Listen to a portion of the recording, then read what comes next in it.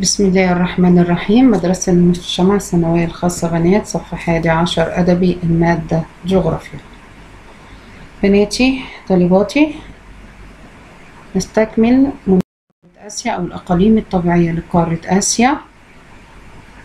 درسنا في الحصة السابقة الأقاليم الحارة وهي الإقليم الاستوائي. درسناه وانتهينا عنده سوف ندرس اليوم الإقليم المداري.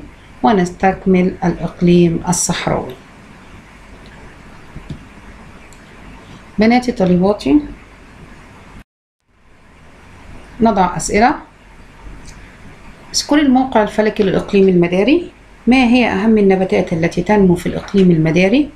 اذكري بعض الحيوانات التي تعيش في الإقليم المداري إقليم ترتفع فيه درجات الحرارة صيفا وتنخفض شتاء وأمطار نادرة.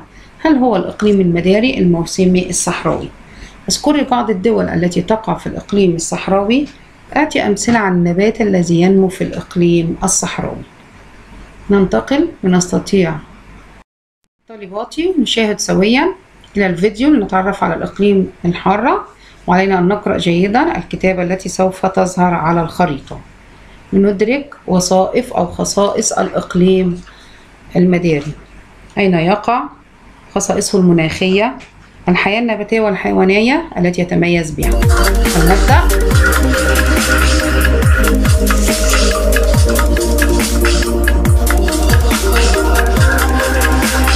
الموقع الفلكي.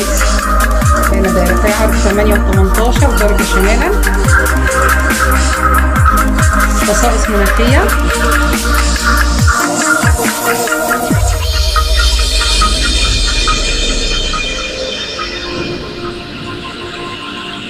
الحياة النباتية والحيوانية.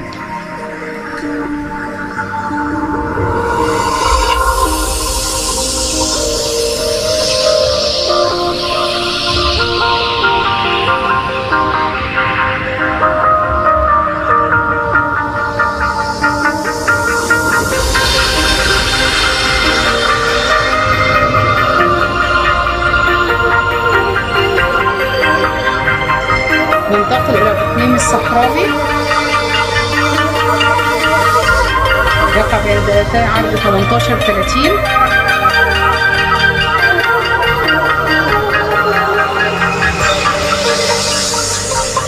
الخصائص المناخية.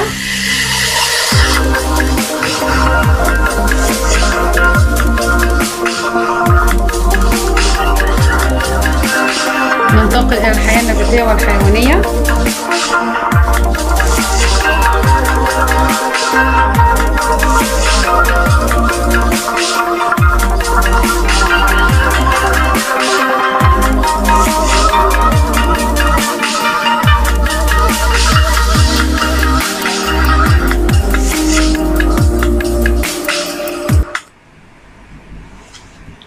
تعرفنا طالباتي على موقع المناخ الإقليم الصحراوي وموقع الإقليم المداري لدينا الآن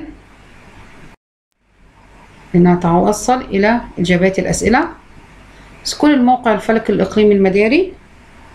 بين دائرتي عرض 8 ل 18 شمال خط الاستواء. ما أهم النباتات التي تنمو في الإقليم المداري حشائش السفنة وهي شجريات مدارية. اذكري بعض الحيوانات التي تعيش في الإقليم المداري آكلة العشب كالزرافة وآكلة اللحوم كالأسد. إقليم ترتفع فيه درجات الحرارة صيفا وتنخفض شتاء وشتاؤه قصير وأمطاره نادرة. الإقليم الصحراوي. اذكري بعض الدول التي تقع في الإقليم الصحراوي دولة شبه الجزيرة العربية ومنها دولة قطر. هاتي أمثلة عن النباتات التي ينمو في الإقليم الصحراوي. هي النباتات التي تتحمل قدرتها على الجفاف وهي تعتبر زي الصبار وأيضا الحيوانات التي تتحمل الحرارة والعطش مثل الإبل. ننتقل الآن إلى الخريطة لنتعرف على هذه المواقع.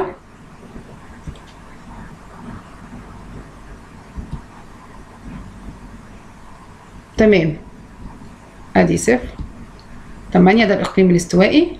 إقليم المداري.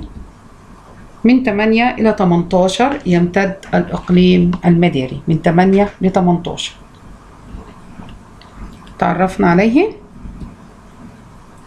ننتقل إلى الموقع والمناخ للإقليم الصحراوي. من 18 ل 30 شمال خط الاستواء. تمام؟ المناخ. قلنا حرارة مرتفعة صيفا ومنخفضة في الشتاء والأمطار نادرة. يقع بين 18 ل 30 شمالا وجنوبا. ارتفاع الحرارة صيفا وانخفاضها شتاء ونادرة الأمطار. يتوضح لنا الإقليم الصحراوي. ننتقل ما النتيجة المترتبة على وقوع الإقليم الصحراوي من 18 ل 30 شمال وجنوب خط الاستواء. لدينا الإجابة؟ هم. ارتفاع درجة الحرارة صيفا ومنخفضة في الشتاء والأمطار. أحسنتم. الآن مقارنة بين كل من الإقليم المداري والإقليم الصحراوي من حيث الموقع الفلكي والخصائص المناخية. عليك طالباتي العزيزة أن تقومي بعمل جدول هذا لعمل للقيام بالمقارنة في دفترك. هذا السؤال يجب عليك الإجابة عليه. حددي أوجه للتشابه والاختلاف بين الإقليم الصحراوي والإقليم المداري. الاختلاف والتشابه والاختلاف.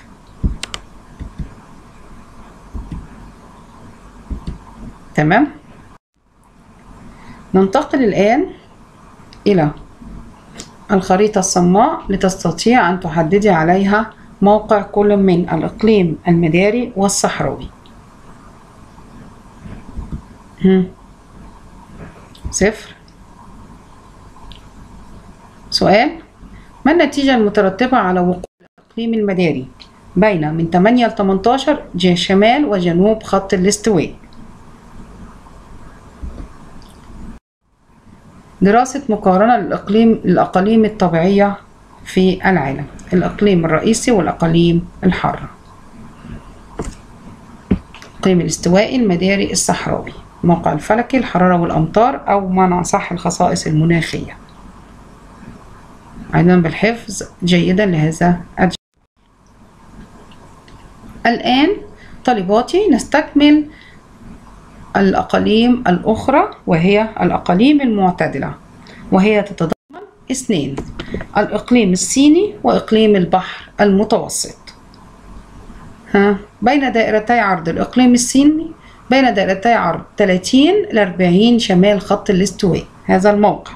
خصائص المناخية يتميز بصيف حار وشتاء دفيء وأمطار طوال العام الحياة النباتية والحيوانية تنمو غابات كثيفة دائمة الخضرة وتعيش الحيوانات كالغزال والظب والذئاب ننتقل إلى إقليم البحر المتوسط. بين دائرتي عرض من 30 ل 40 شمال خط الاستواء أي غرب القارات.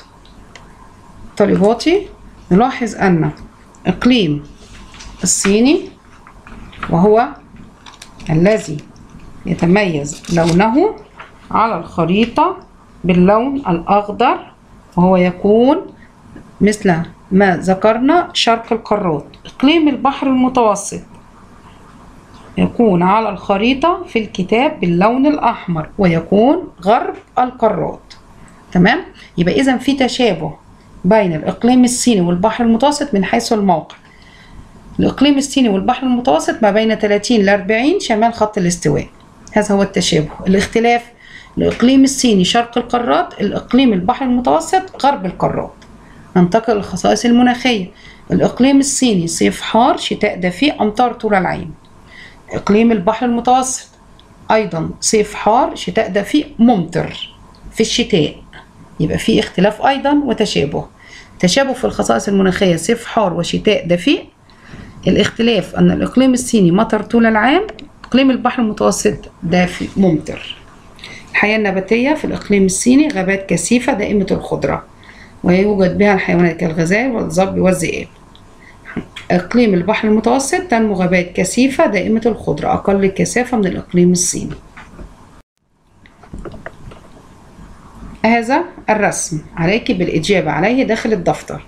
يوجد أوجه اختلاف وأوجه تشابه بين كل من الإقليم الصيني وإقليم البحر المتوسط. من انتبه لي؟ فسوف يتوصل إلى الإجابة الصحيحة. ننتقل إلى الأقاليم المعتدلة الباردة. الأقاليم المعتدلة الباردة عندي نوعين. إقليم معتدل بارد موسمي إقليم معتدل بارد قاري ما الفرق؟